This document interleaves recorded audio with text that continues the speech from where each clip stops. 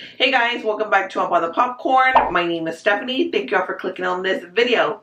Now, if you're someone who enjoys talking about film, how about clicking that subscribe button? So today we're going to be talking about Disney Pixar's 24th installment, Luca.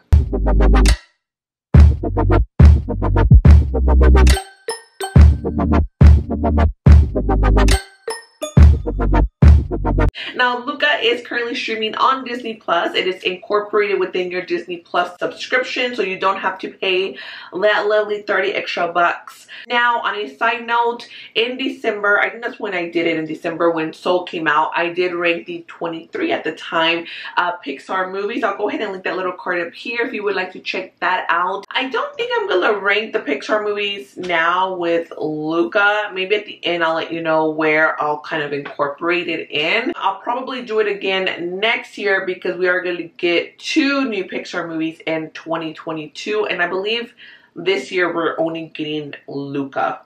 I could be mistaken, you know, don't don't quote me on that, but I think I think it's I think we're we are only getting the one this year. So I'll let you know more so where I rank Luca within the 24 now movies uh, later on in the review. Now Pixar has done it again. This is one very very good looking movie. It has of course a positive message of finding yourself, accepting yourself regardless of what society may think of you. We are dealing with sea creatures who when they come to land they do become real boys. Seeing beautiful animation. I mean, right off the bat, I was just like, the colors are just spectacular. We are following Luca, who is a young boy. We don't really know too much about him, too much about his world down in the sea, in the water. Um, he is like a fish herder it seems like instead of you know sheep we got some fish who are not the smartest kind of um creatures, I mean fish, whatever. We do see part of this world, but we really don't see too much. Like I wish we got more of the underground version of how his life really is. I mean, I'm assuming they're like farmers or like shepherds, fishers, I don't know. you know, just because we do see the neighbors kind of doing where they're like uh, uh, cropping like the seaweed and stuff like that. Like they're like farm seaweed herders. I don't know, you guys. Whatever, I'm putting too much into it. Um, so we really don't get too much of his world underwater. We just kind of get a glimpse. We don't really go too much into the transformation of sea creature to human. Like what, how, I guess would better be a better question how are they able to transform? That's never really answered or really asked, I guess. It's just something that happens, you know, like they just know that if you go up into the world, you go on dry land, you become human, but I guess you could just say I'm nitpicking. It's one of those things that you really don't ask, no questions. I wish we did get some sort of something. Whether it had been maybe in the human world um, they did mention um, the young girl. Oh god i'm terrible i'm terrible with names. She wasn't kind of like a little book nerd. It would have been kind of cool if she knew about the sea creatures and knew about their history. Could have been like yeah can you imagine? Like they can be walking among us. And they're you know kind of explaining the transformation portion at that part at that point that would have been pretty interesting. But honestly that's pretty much my only real dislike about the movie. It is a really really cute movie. I know i kind of yeah no if you're new you guys i always go all over the place. I have no real structure. I just kind of hope that you take it as i'm your friend telling you about this movie and i feel like this is how an actual person would tell you about a movie. Oh actually i do have one other kind of dislike about the movie. The villain in here Definitely one of Pixar's weakest villains, not memorable. He really is a bit of an ass and I'm not totally sure how old he's supposed to be. I mean, he said he was 16, but apparently he has been 16 for quite some time. So, but he looked like he was 30. He was a bully at the end. I mean, well, I mean, I guess a villain for kids, right, would be a bully, but yeah, it really wasn't. But I do love the idea that we were in Italy. One of the things that I do love about Pixar is that they have originality. Disney just kind of likes to recycle all their shit and do the same thing and do remakes. And Pixar, even though they are part of Disney, are more on the original front. We do get more of those original stories. And I'm not really lie to you guys.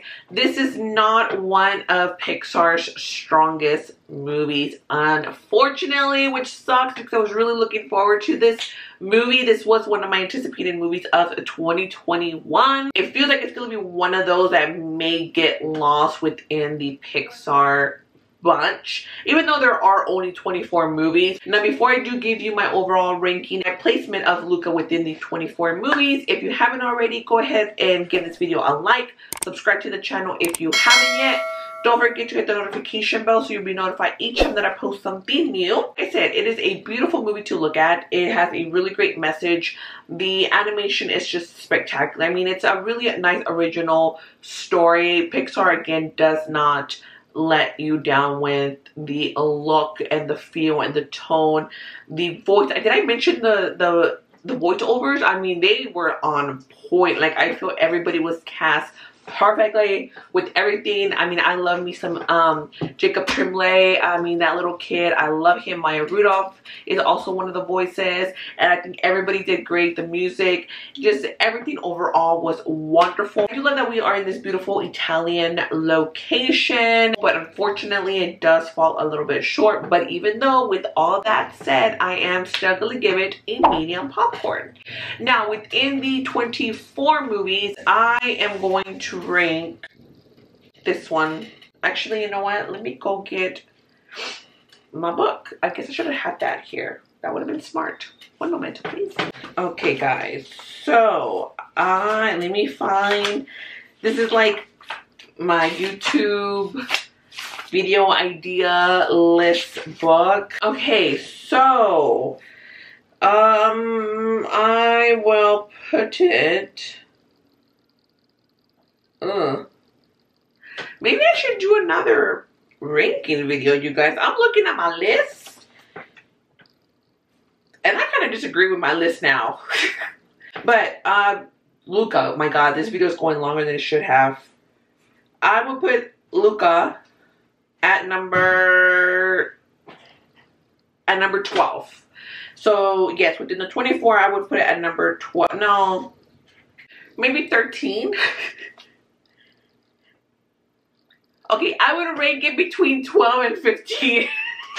I'm looking at my list and I'm like, okay, no, yes, no. So between 12 and 15 is where I would put Luca at. I'm just not 100% sure. I should have been more prepared.